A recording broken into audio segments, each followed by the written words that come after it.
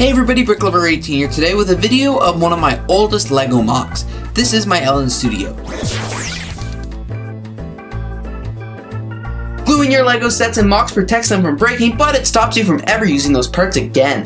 Le-glue allows you to glue and unglue your LEGO sets so you can keep them safe, but use the parts again in the future. Visit the link in the description to learn more and check out LEGO in all its glory in my LEGO video. Subscribe to BrickLover18 for more daily LEGO videos.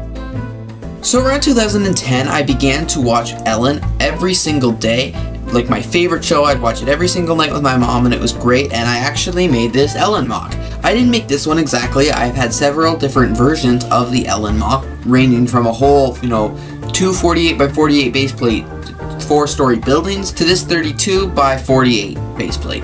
So without further ado, I'm going to show you the MOC. This is like the final version I have. It's been pretty much the same for like a couple months, a couple years now. I haven't done much to it, but it's still a really cool MOC, so that's why I'm showing you on video today. We'll start this video off in the main production studio where the show is filmed. Over here are the classic Ellen doors. As you can see, they are white and blue, and I've designed them so that they slide open, reveal like, you know, a game or something behind, and then slide back when they're not in use. Above the doors is the big Ellen sign. As you can see, it's just made of a couple blue bricks and I think it looks pretty neat. Over here beside the blue doors is Tony. Tony used to be Ellen's DJ. I don't think he still is, but you know, I built Tony when he was the DJ, so that's why Tony's still the DJ in the Ellen studio there's like a cameraman on him, you know, because maybe him and Ellen are having a conversation, as well as just the like producer telling him what to do. On the other side of the blue doors, we have some flowers, as well as two TV screens that just say, they're supposed to say Ellen, they don't right now because the little pieces of paper fell off, but pretend they say Ellen. Over here is the actual Ellen stage. So as you can see, her backdrop says Ellen. You can kind of not read that because it's a little hard to tell, but it says Ellen, trust me. There are even the steps up just like in her show and as you can see there she is sitting there, you know, talking to the camera.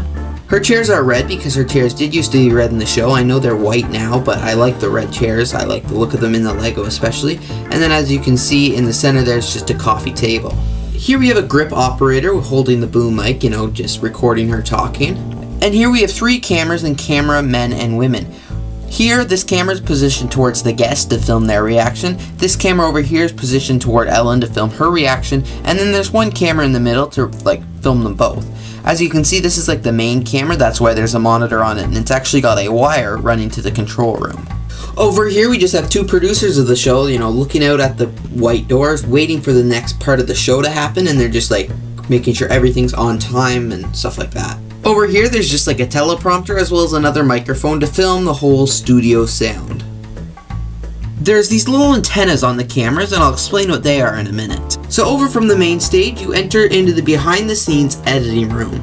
On this wall facing out to the studio, we just have a TV playing the Ellen show so they can look up and sort of watch what's being filmed and being streamed live right now. And it is a swing around door so you can enter into the studio so they can talk to the other cameramen and producers, but they can shut it up so they like can focus on what they're doing during the show.